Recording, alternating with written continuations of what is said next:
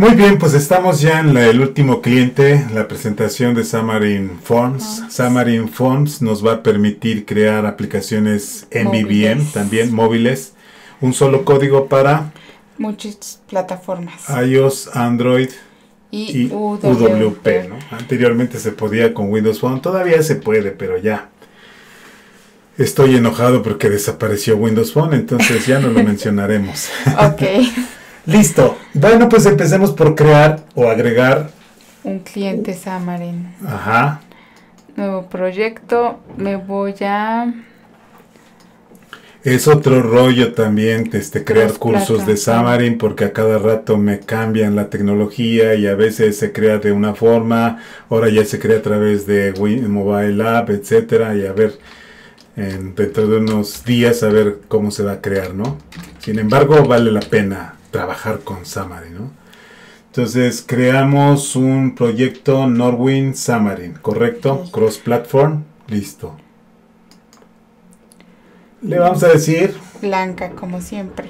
y el criterio para compartir o la estrategia para compartir. Estamos utilizando NetStandard. NetStandard es mi preferido, ¿no? Algunos usuarios o algunos programadores prefieren Share Project, yo prefiero NetStandard, ¿no? Es más transparente, más independiente.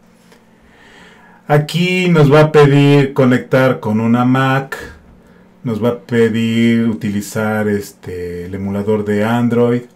Entonces, yo creo que es suficiente con mostrar cómo funciona con Android. Al final de cuentas no es un curso de Xamarin. Y simplemente con eso, pues ya el usuario, muchos no tendrán su computadora Mac para poder probar. Entonces, para que no se sientan tristes, solo vamos a probar con, Con Android. Android. ¿no? Muy bien, listo. Pues ya tenemos nuestro código SAML nuevamente.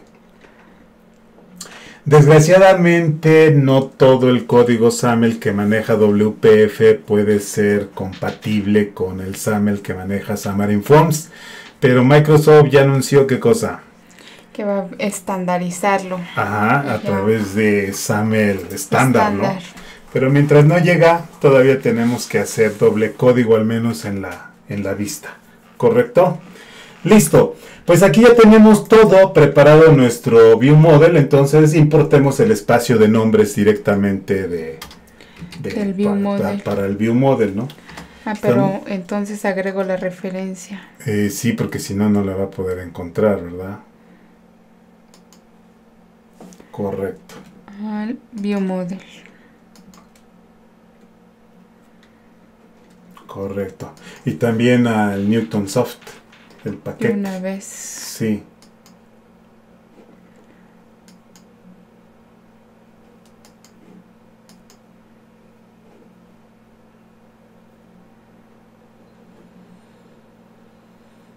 Listo. Ok, ya tenemos paquete Newton Soft, ya tenemos la referencia al View Model. Ahora sí ya podemos importar El espacio de nombres. nuevamente VM, CLR namespace. Así. Correcto, está Más rápido, fácil. ¿verdad? Perfecto. Aquí no se llama Data Context, aquí ¿cómo se llama? Binding context. Bueno, entonces de ahí ya debería estandarizarse. Y así ya nada más un Copy eh, paste. es- es- o copy paste o compartir también el archivo, ¿no? Sí. Algo debe de hacer Microsoft al respecto. Por lo mientras, ni modo. Tu view model, dos puntos, product. Listo. Tenemos un stack layout. Si quieres, elimina el código del stack layout. Y lo que vamos a hacer ahora es, dentro del stack layout, créate otro stack layout. Vamos a encadenar stack layouts. Es el más Dentro fácil. de ese stack layout, créate otro stack layout. Ok. A ese dile que su orientación sea horizontal.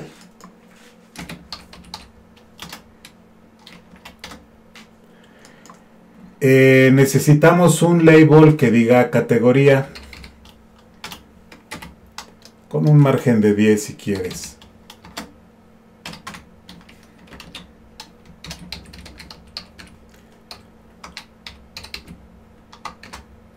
Correcto. Entonces va a aparecer ahí categoría. Ahora necesitamos un text box pero aquí no hay text box ¿Aquí qué hay? Entry. Ok. Dile que quieres pedir un ancho de 50. Y el texto enlázalo ya a categoría ID. Aquí ya me aparecen porque como ya lo tengo. Como ya tienes el view model, hubiéramos creado primero el view model, entonces en WPF habría aparecido lo mismo, ¿no? Creo que sí. Muy bien. Bueno, ya los usuarios que estén escuchando ya saben por dónde El empezar. Ajá. Correcto. Agrégate un botón que permita buscar.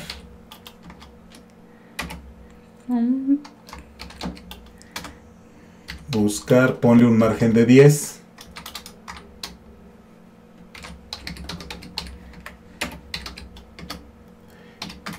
Y cuando le den clic. El command. que de hecho este sí lo podríamos copiar y pegar, ¿verdad? Creo que sí. Ok, dale command de una vez. Binding. Y enlázalo, afortunadamente que ya tenemos el IntelliSense, una característica nueva que tiene el, el editor de SAML en Xamarin Forms, ¿no? Search Product, Products Command. Correcto. productos. Otro botón que te permita ver el detalle. Otro botón que me permite ver detalle. Ver detalle.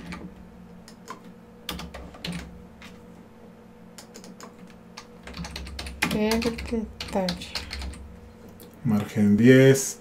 Un request, dile que te. Un request de 100. Porque es más grandecito. Y cuando le piquen, quiero que se vea o que se ejecute search product by ID command.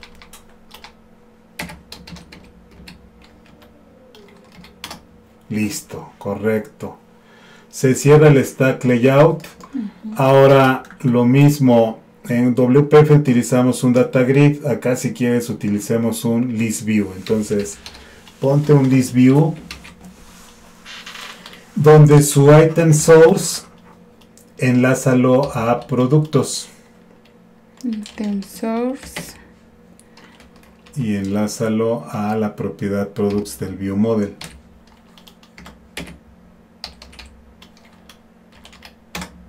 Correcto. Y dile que su selected item enlázalo al product selected.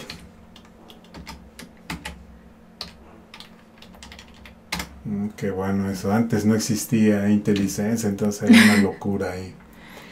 No, creo que El list view de manera predeterminada va a mostrar el toString de los elementos. No queremos el toString de los elementos, entonces hay que definir Un template. un template. Adelante entonces el elemento de propiedad, item template. Y tem- template. Correcto. Él quiere un data template. Data template quiere un view cell. View cell tiene view. View cell punto view. Ajá. Y ahí dentro vamos a poner cómo queremos que se desplieguen los elementos. Si quieres, agrégate un grid. Un grid. Ajá. Dile que quieres columnas. Punto column. Ajá. Dile que la primer columna tenga un ancho de 1 y lo que sobre. Quiero poner un column definition que tenga un width Ajá. de 1 y lo que sobre. Ajá, que se reparta en el espacio sobrante. Copia y pega.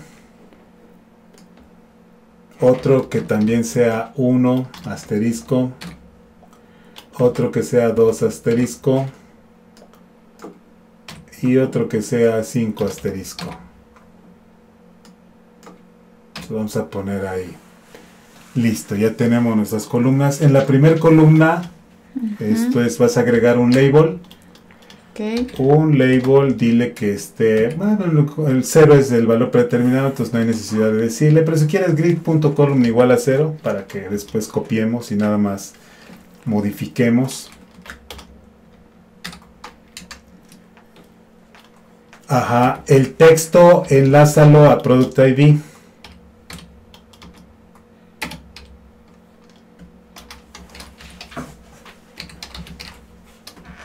Aquí no tengo. Porque está, ya, ya, ya no supo Samuel, porque está interno, dentro interno, Ajá. dentro interno, etcétera, y ya se perdió, pobrecito Samuel. Otro label en la columna 1, bindeado a product name.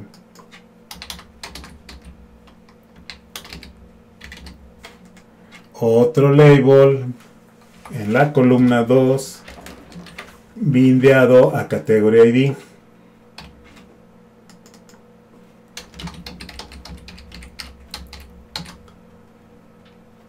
Y finalmente otro label en la columna 3 bindeado a unit price.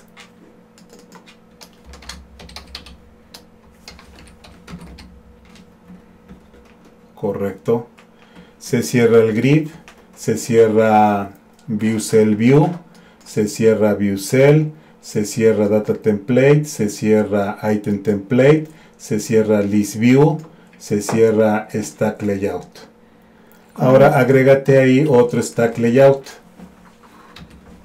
donde vamos a mostrar el detalle del producto. Entonces otro stack layout, ponle margen 30000.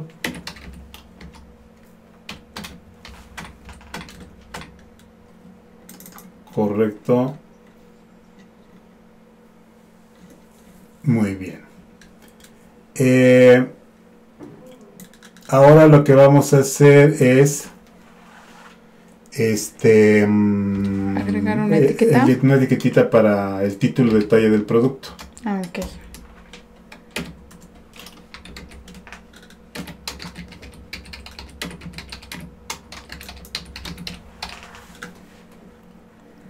Listo. Correcto. Entonces a continuación vamos a poner el detalle del producto en varios stack layout horizontal. Entonces preparemos el primer stack layout. Horizo- ori- ori- orientation horizontal, ¿correcto?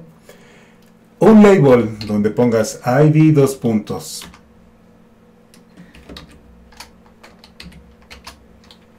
Otro label donde enlaces el texto al product ID.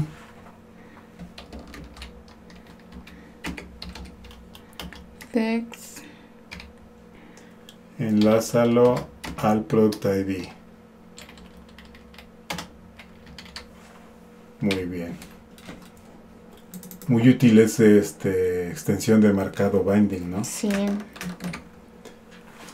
Si nosotros quisiéramos una extensión de marcado que no existe, podemos crearla. Sí. Sí, es algo interesante de SAML. Bueno, cópiate ese stack layout para que hagas lo mismo con product name. Product name. Nombre.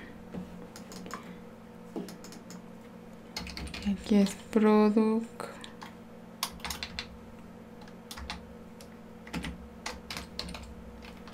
Name. Correcto. Luego otro para El precio. precio. Binding. con unit price. Unit price. Correcto. ¿Cuál más me falta? Units in stock. Y stock.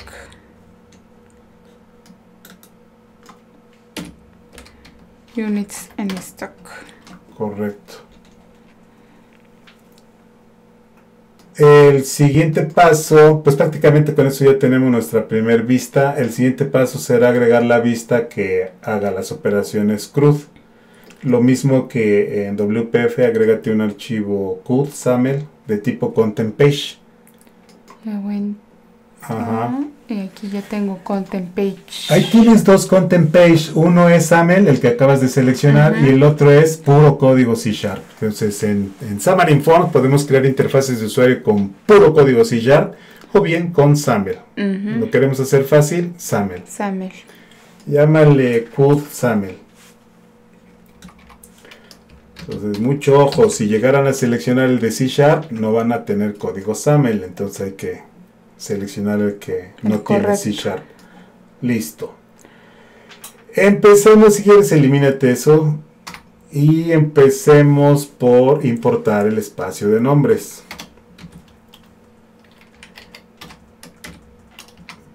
Su prefijo igual y ahí está, ¿no? Correcto. Su contexto de datos, binding data context más bien, binding context.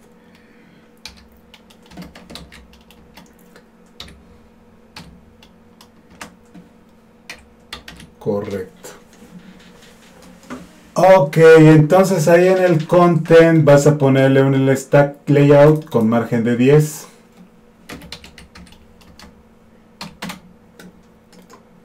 Abajo agréganle un label que diga ID.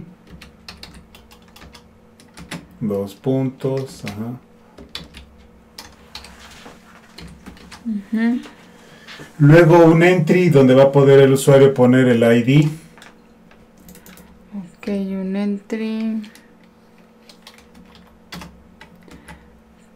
Enlazados propiedad text a product ID. Product. Con un ancho de 100.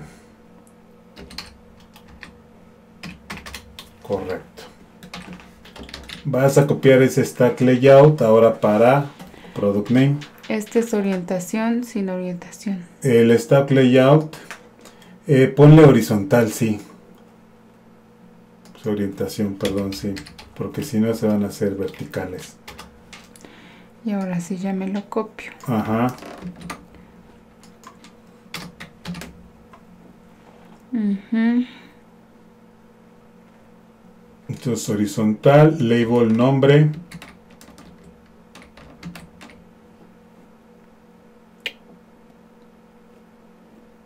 Ah, ya sé.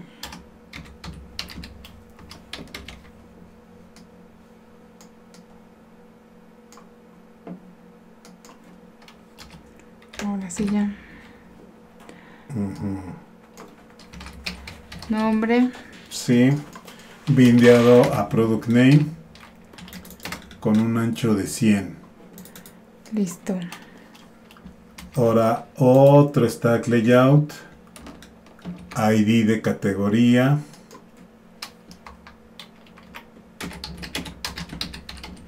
bindeado a categoría ID.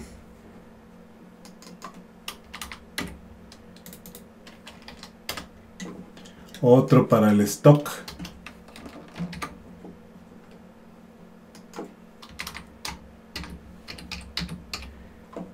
Bindeado a units en stock. Otro para el precio. Bindeado a unit price.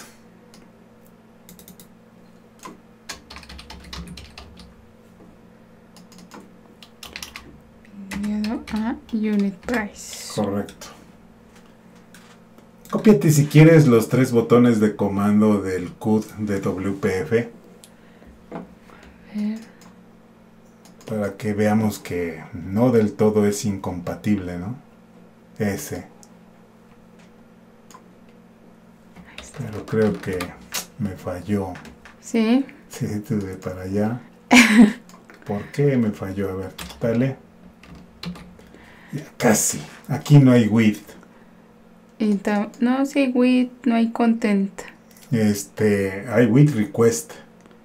¿Y por qué no me marca? Bueno, primero con text. Text, sí, ya casi. Qué barbaridad. Text. Sí, ese with es un with request. With request. Supongo que si tal me marca excepción a la hora de Es que ejecutar. tiempo de ejecución, cuando cargue el, el, el- el SAML, ahí es donde procesa y Muere. error, correcto. Muy bien. Prácticamente pues ya tenemos este las dos vistas y no tocamos nada del view model, estamos reutilizando el view model, ¿no? Es una maravilla esto de trabajar en capas. Compila la aplicación y verifica que no hay errores. Y si hay errores, los solucionas. Ok.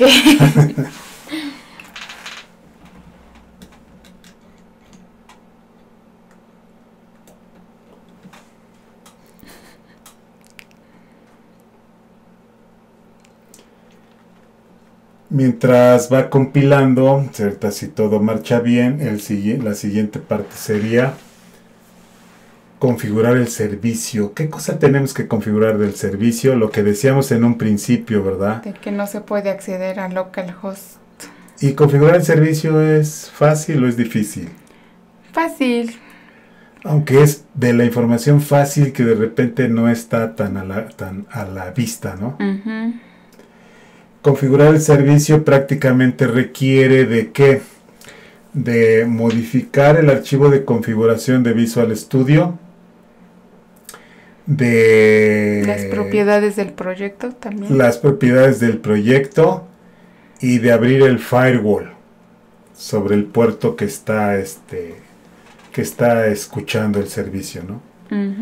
Y mientras tanto, este, pues aquí este Xamarin Forms está compilando todo Está.